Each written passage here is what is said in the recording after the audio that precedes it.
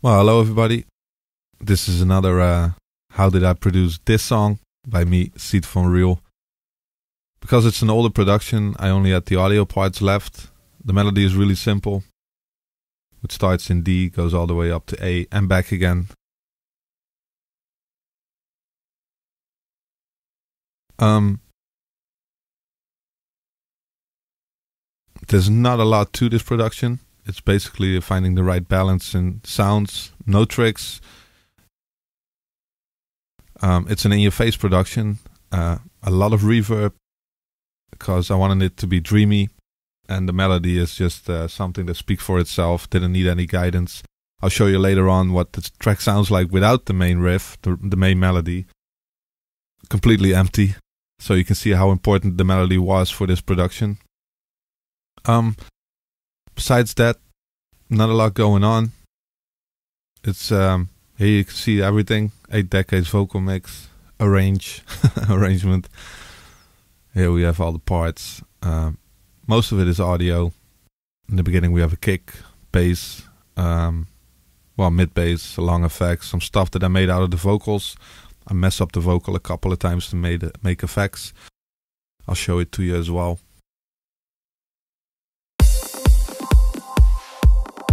First sound you hear instantly that's uh, a messed up vocal bit.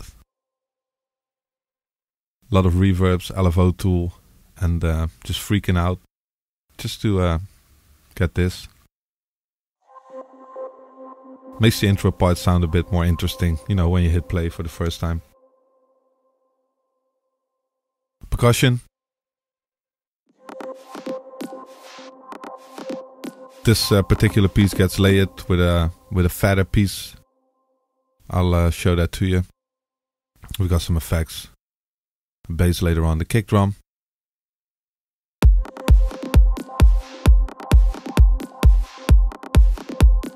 nice round and short, and then we have a crash um, with a bit of uh, a fade in, as you can see here.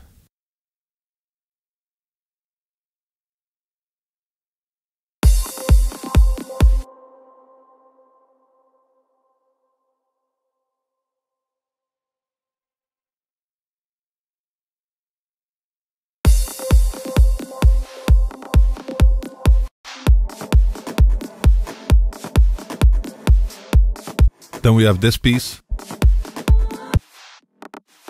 It's a mess up version from the first one. There's a lot of effects on it. I'll show you what it exactly does, because um, if I kill all the effects, there's nothing left. And now it's like nice and, you know, beefed up. Very stereo.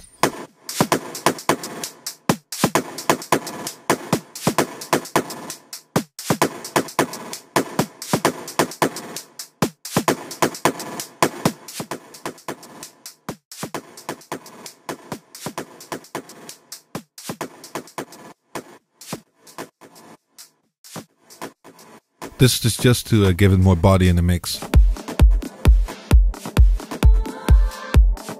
And there's another vocal effect, another piece of vocal that I messed up. It's all for the atmosphere. This track was all about atmosphere.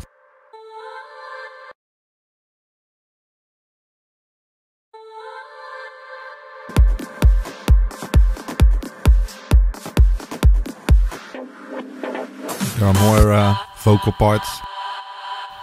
Again, the LFO tool and uh, reverbs.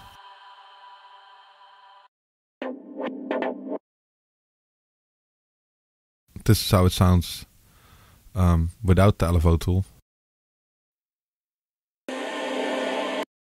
Then boom.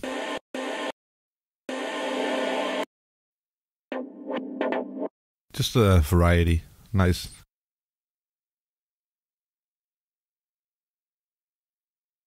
Then we go into the build, the first uh,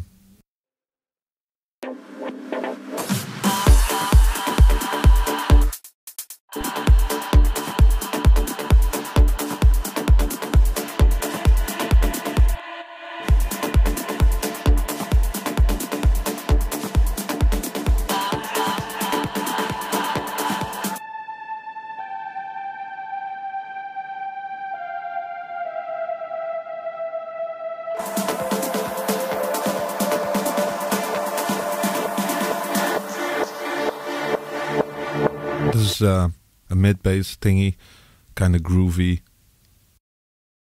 It goes on top, reverb, and that's about it. It's a bit of automation in the lows.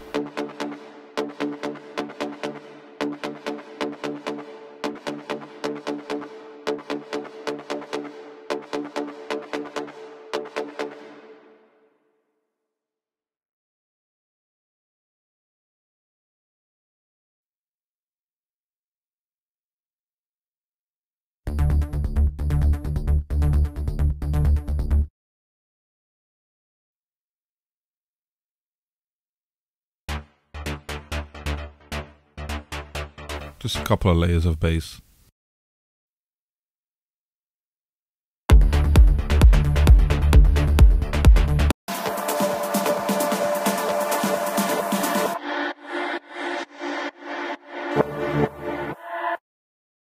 That are a couple of parts that come together, come together in the end towards the first, uh, towards one minute.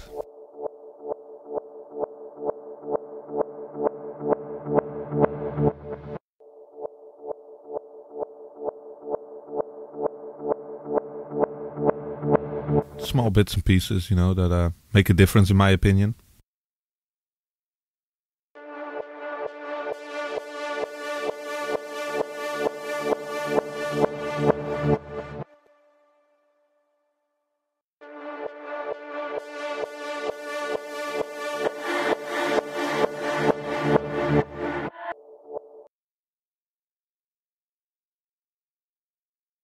And then we continue with the rest.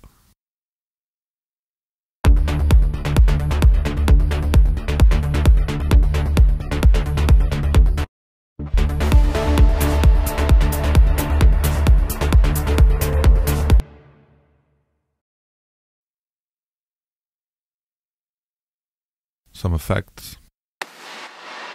A boom.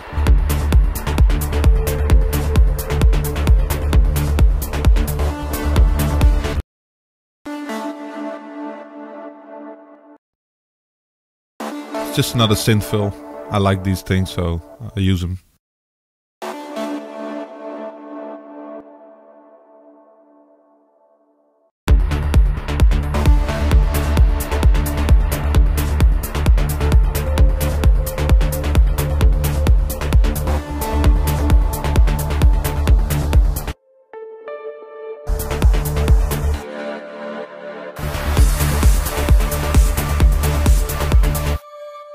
Dirty strings, well detuned.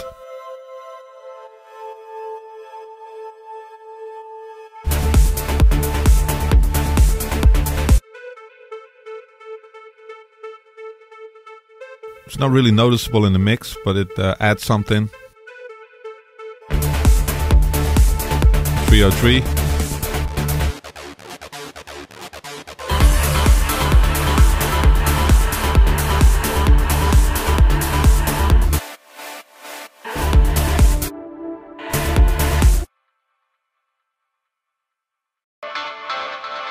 The steps.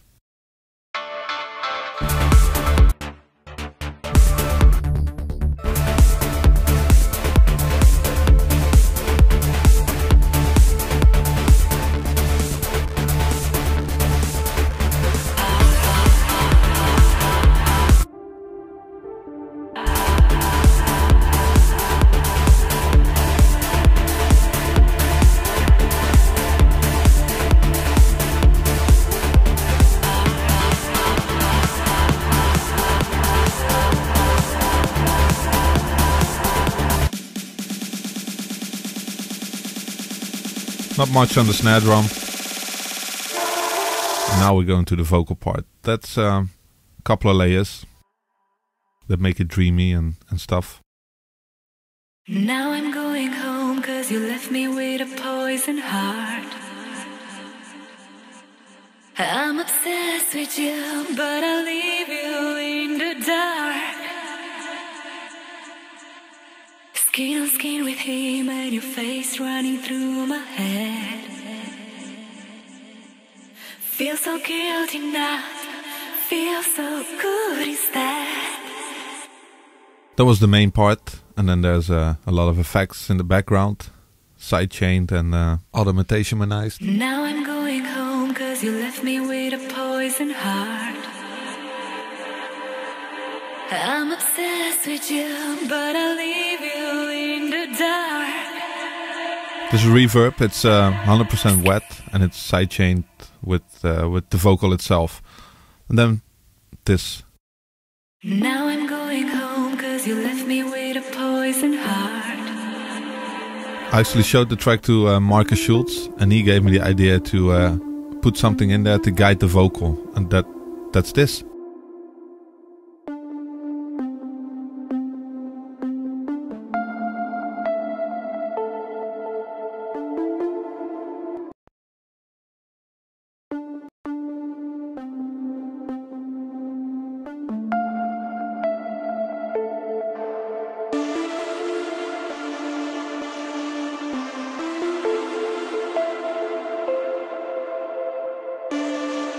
Just to give it way more atmosphere and, in my opinion, feeling.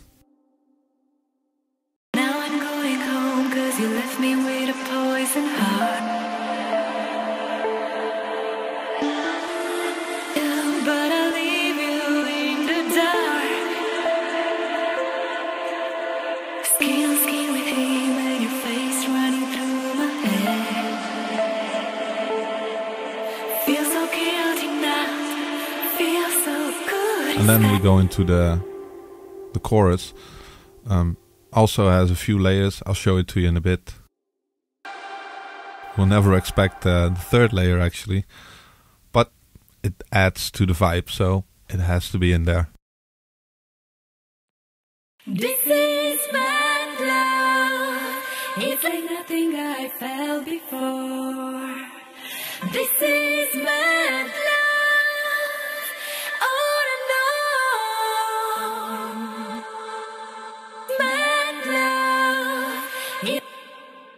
then we have a part that um, it's gonna surprise you all, but it's in the track. It gives the vocal more beef at uh, certain points, and um, sounds like this. This is mad love on and on. You never expected that, huh? I'll listen to it in full. This is my love. It's like nothing I felt before. This is my love. On and on. My love. It's like nothing I felt before. This is And then we have mad effects.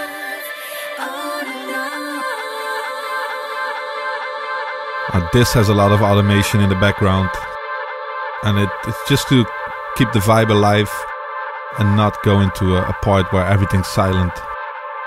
So it's tape delays, a flanger uh, at the end of the chain that controls all the effects that are uh, still going on. I use this trick more more often.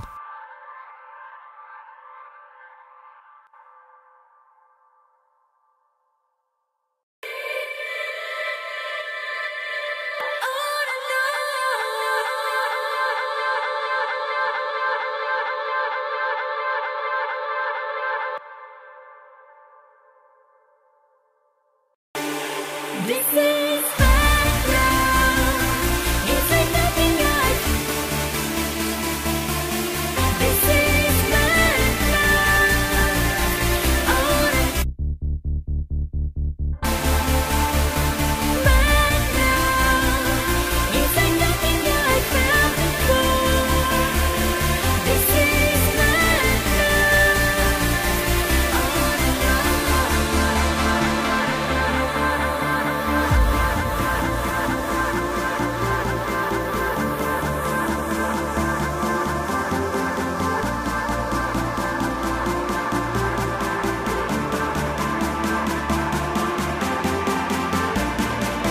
Here you can hear everything coming together.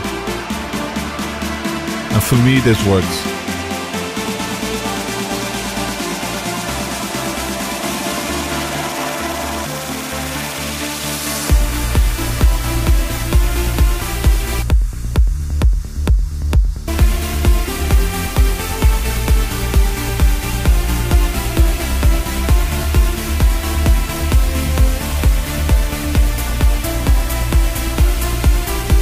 Let's the drop without the melody. You can see how important the melody then is in this track.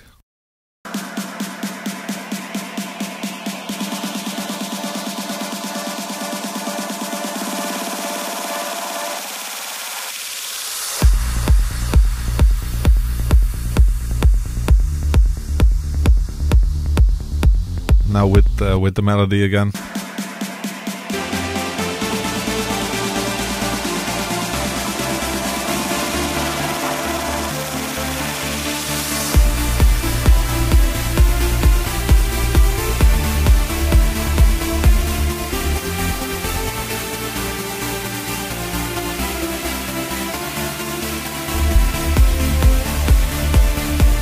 To a part that's probably my favorite in this uh, in this track.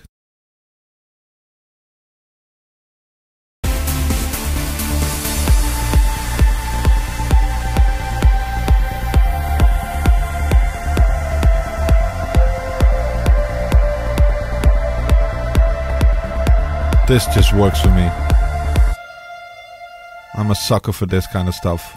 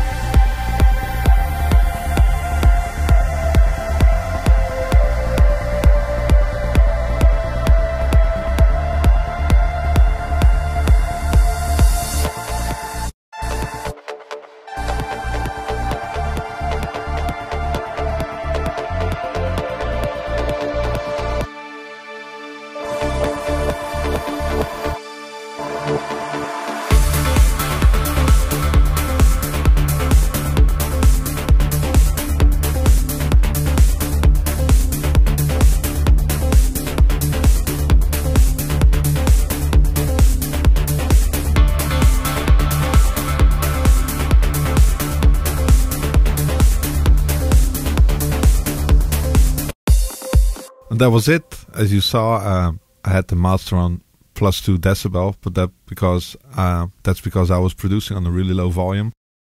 So that was just to uh, give it a bit more volume on my headphones and in the studio itself. Hope you've enjoyed this, uh, you know, explanation of the production behind uh, Eight Decades. It's forthcoming on uh, Go On Air recordings, together with an Ottaviani remix in two weeks from now, which is um, February the 3rd. If you have any questions, by all means, let them know here on YouTube. And uh, as always, I will try to answer as soon as possible and as detailed as possible. Ciao.